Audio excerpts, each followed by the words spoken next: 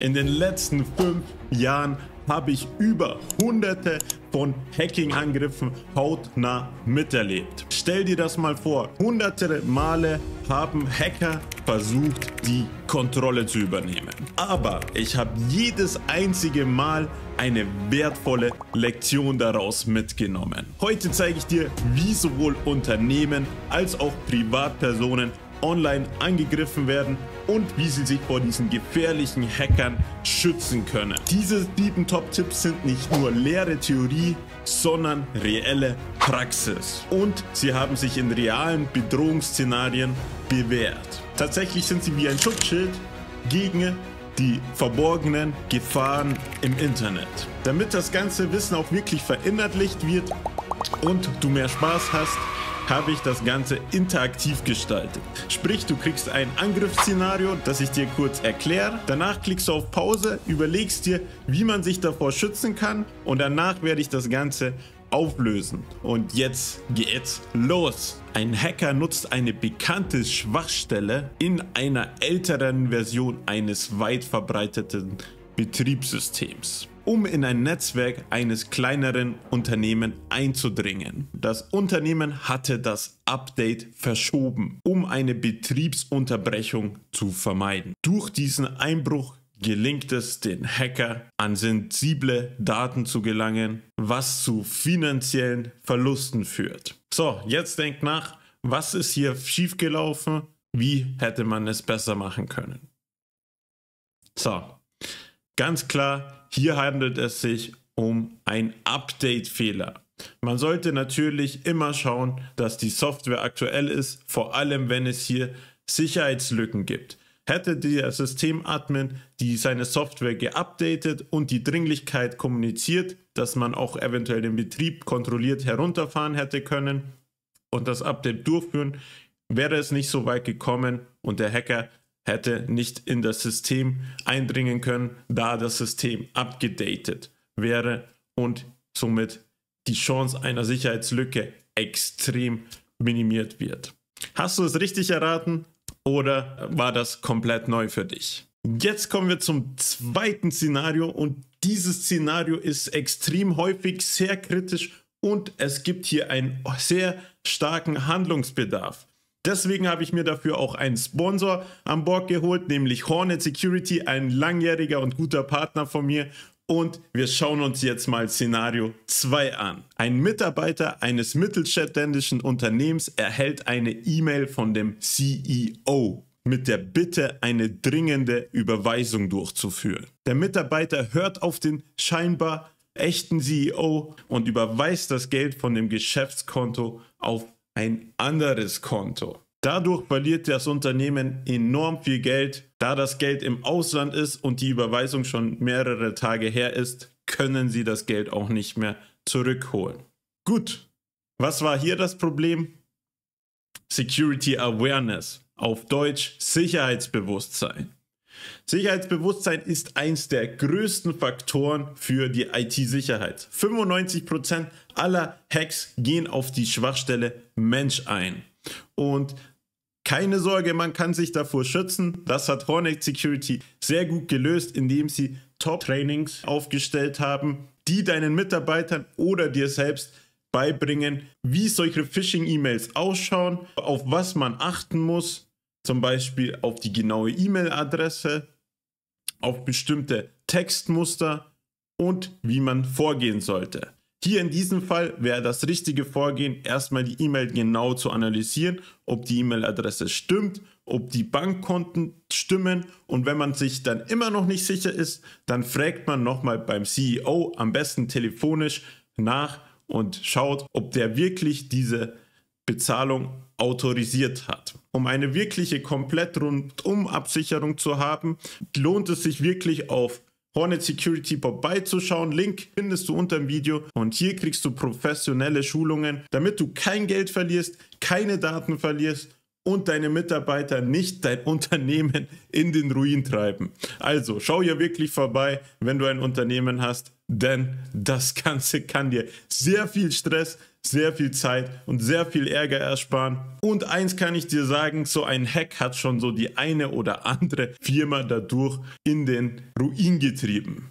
Gut, Kommen wir jetzt zu Szenario 3. Ein Online-Shop erleidet einen Datenverlust, weil ein Administrator das Passwort Admin123 verwendet hat. Ein automatisiertes Tool, das von Cyberkriminellen verwendet wird, knackt das Passwort innerhalb von wenigen Minuten. Die Diebe erlangen Zugriff auf die Kundendatenbank, was den Ruf des Unternehmens erheblich schädigt und zu rechtlichen Folgen führt. Okay, was war hier das Problem? Ganz einfach, schlechtes Passwort. Eine der bekanntesten, aber auch häufigst nicht beachteten Regeln. Verwende ein starkes Passwort. Zu Passwörtern habe ich schon einige Videos gemacht, kannst du dir auch gern mal anschauen. Hier nochmal kurz zusammengefasst. Umso länger, umso komplexer, umso besser. Da gilt Groß-Kleinschreibung, Sonderzeichen, Zahlen und keine Sachen, die mit dir persönlich zu tun haben, denn Hacker können dich stalken sozusagen und persönliche Informationen über dich rausfinden und somit auf dein Passwort schließen. Und Admin123 ist einfach ein Standardpasswort. Das wird nicht verwendet in der Production. Sowas solltest du auf gar keinen Fall verwenden, auch wenn du nur kurz was konfigurierst für Testzwecke. Weil zum Schluss ist es dann nicht nur ein Test, sondern geht wirklich in die Production.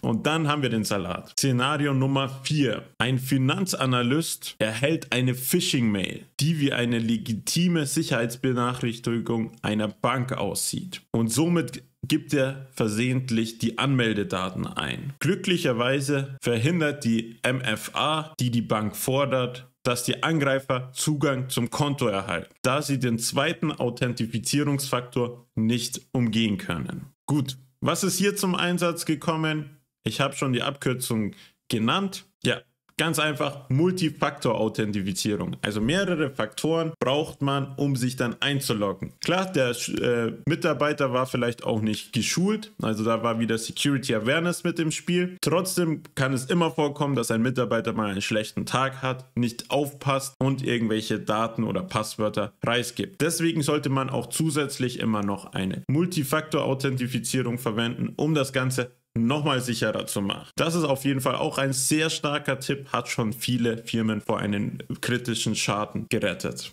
Szenario Nummer 5. Ein mittelgroßes Technologieunternehmen führt regelmäßige Sicherheitsaudits durch. Während eines Audits entdeckt das IT-Sicherheitsteam eine unbemerkte Sicherheitslücke in ihrer Anwendungssoftware, die von extern zugänglich ist. Durch die frühzeitige Entdeckung und Behebung dieser Schwachstelle wird ein möglicher Hackerangriff abgewendet. Ja, hier ist der Name Programm. Einfach Sicherheitsaudits durchführen. Die können von professionellen Firmen erstellt werden und sie können schon mal im Vorhinein Schaden abwenden. Also hier diesen Punkt auch nicht vergessen, vor allem größere Firmen, die auch Ziele von professionelleren Attacken sind. Hier kann sich ein Sicherheitsaudit auf jeden Fall sehr stark lohnen. Dann kommen wir zum Szenario Nummer 6. Die Buchhaltungsabteilung eines Unternehmens erhält eine täuschend echte E-Mail, die angeblich von einem vertrauten Lieferanten stammt und fordert sie auf, einen Link anzuklicken, um eine unbezahlte Rechnung zu begleichen. Ja, E-Mails sind sehr kritisch, denn hier kommen eben die ganzen Phishing-Mails rein und hierfür hat Hornet Security sogar auch eine Lösung. Sie hat eine künstliche Intelligenz, die deine E-Mails analysiert und schaut, ob hier Phishing-Mails enthalten sind oder sonstige schädliche E-Mails reinkommen. Hier geht es natürlich ganz klar um Phishing, Schutz, entweder Software oder wieder Schulungen. Szenario Nummer 7. Ein Architekturbüro wird Opfer eines Ransomware-Angriffs, bei dem ihre Projektdateien verschlüsselt werden. Also ich erkläre kurz, hier hat man keinen Zugriff mehr auf die Daten. Wie hätte man sich davor jetzt schützen können? Klick kurz auf Pause, denk nach und wenn dir was einfällt, dann klick auf Weiter und schau, ob es stimmt. Okay, hier die Lösung. Dank einer gut durchdachten Backup-Strategie, einschließlich regelmäßiger Offsite-Backups, kann das Unternehmen seine Daten schnell wieder ohne Lösegeld zahlen zu müssen wiederherstellen. Also ganz einfach, Ich habe die Regel, kein Backup, kein Mitleid. Deswegen hier auch immer ein Backup machen, das auch extern von deiner Firma ist, nicht am Internet eingebunden. Das muss physikalisch am besten getrennt sein oder zumindest netzwerktechnisch muss es getrennt sein, das Backup. Und somit kannst du dann immer dein Backup von einem Tag später wieder zurückrufen. Das ist sehr wichtig.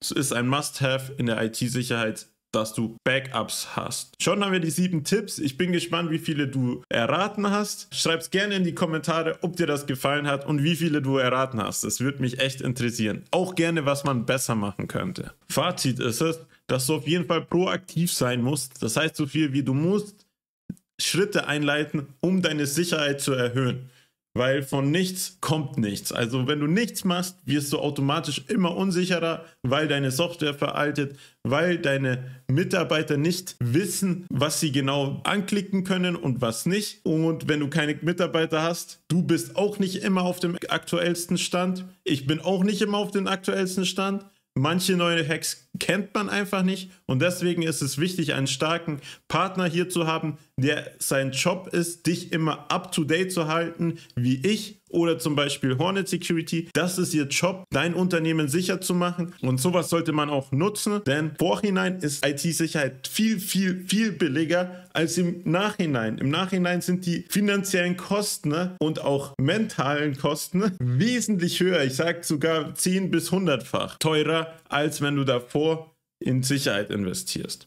Das ist wie beim Zahnarzt. Prophylaxe. Du lässt dir deine Zähne einmal im Jahr anschauen, ob alles gut ist und lässt dir erklären, wie man schön putzt. Und dann sparst du dir später auch die teure Zahnarztbehandlung, wo du eine Füllung oder sonstiges bekommst. Nochmal hier als Zahnarztbeispiel. Ich mag das ganz gerne. Schau auf jeden Fall bei Hornet Security vorbei. Ich kann ihre Produkte von ganzem Herzen empfehlen, da ich sie schon ausgiebig getestet habe und auch reviewed habe. Lass deine Sicherheit nicht aus den Augen. Kümmere dich drum. Das kann ich dir als letzte Wörter mitgeben. Ansonsten wünsche ich dir wie immer einen wunderschönen Tag. Lass ein Kommi, Abo, Like da und wir sehen uns mit Sicherheit. Peace. Hoffentlich, wenn du bei Hornet Security vorbeigeschaut hast.